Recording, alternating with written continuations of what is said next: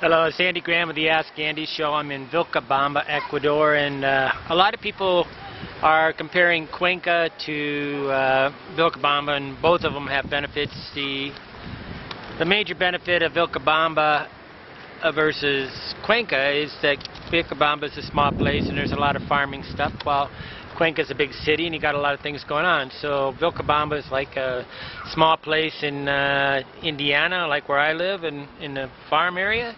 And Cuenca is more like, uh, you know, like, a, you know, a, I can't say Chicago, like a small Chicago or something. But the, the big difference is, is we're retiring overseas to, uh, a lot of people want to retire abroad so they save money.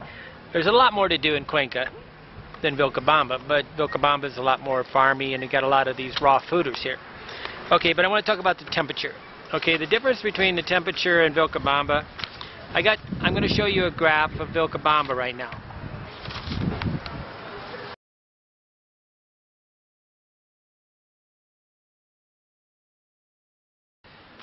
Okay, you looked at the graph and you'll see that Vilcabamba on average has uh, somewhere between say 65 and 68 degrees average temperature.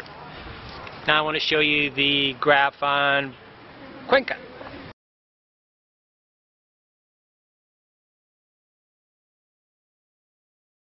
Now if you look at the graph on Cuenca, somewhere between 53 and say 58 degrees things. So it's almost a 10 degree Fahrenheit colder place to live.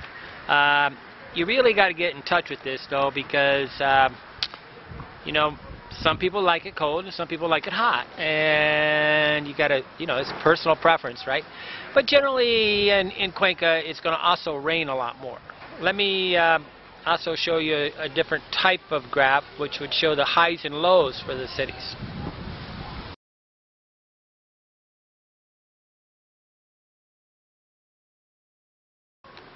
Okay, so you can see there on Vilcabamba, the highest temperature, average, maximum, highest they show is, let's see, 78 degrees.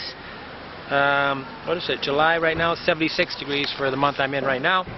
And I'd say that about, uh, but it can be really quite chilly in the morning in Vilcabamba, so it's, uh, I wake up at real early, so it's a thing. Let me show you now the Cuenca graph.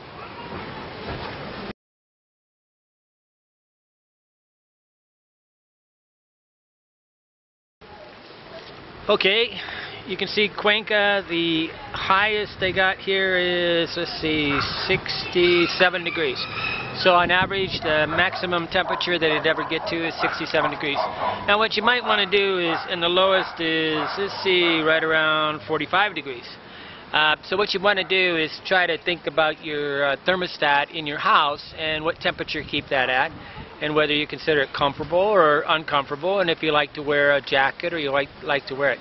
Uh, also on this thing it shows the, the amount of uh, rainfall, so you might do it. Um, what I'm going to do now though is I'm going to show very slowly each one of these graphs, hopefully give you about 10 to 15 seconds, yeah, maybe I'll give you 15 seconds per graph so you can look at them. And uh, course I'll I'll probably be putting these, I, am not going to probably, I will be putting these in the city guide that I'm doing for Vilcabamba.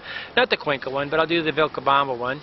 And just let you to know, a lot of people have some very big misconceptions about uh, the, you know, in the tropic zone or these, uh, what they would consider hotter countries, right? is that it's always hot. But a lot of the cities in Central and South America are at, uh, you know, above uh, 5,000 feet. Some of them can be quite cold, but the, the, the thing to always remember is the rainfall also increases. So if you you kind of also calculate the rainfall, and if you're going to be a snowbird or a dyslexic snowbird, one that would be in Florida living and coming down here during the summer, during the summer, because sometimes it's so hot in Florida and so humid that you might want to come down here as like a dyslexic snowbird. But um, a lot of these places are good for for snowbirds to come down a snowbird is a person that basically leaves uh, you know their home country and comes down to a different country or they go to Florida during the winter right and have a place but um, it's, it's actually you know a very both of these places are pretty good for either the snowbirds or the dyslexic snowbird.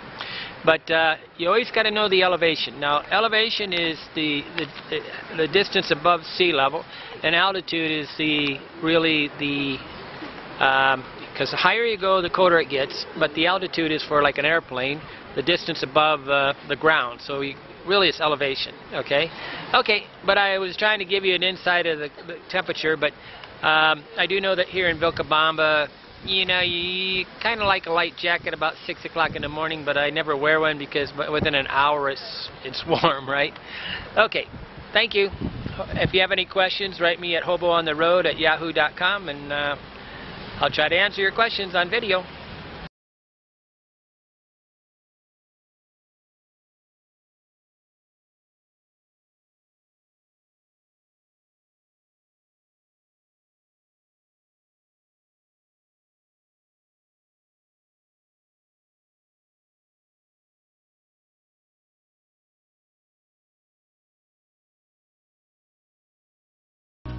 We can pack up tomorrow.